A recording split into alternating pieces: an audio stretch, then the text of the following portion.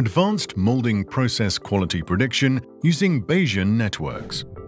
Advanced quality prediction in the molding process is essential as it directly impacts product quality, production efficiency, and cost effectiveness.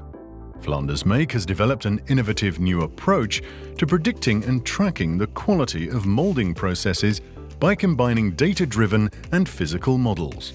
This hybrid method has proven to be more reliable than using a single model alone, improving prediction accuracy by 30% over traditional single model approaches. This allows a far more precise quality control, enhancing production efficiency, reducing errors, and improving overall process management in industrial applications. This demo consists of a cobot that moves a transparent mold in which candle wax is heated. In the user interface, you can modify the process parameters related to heating and mold motion, which affect the final product shape and quality.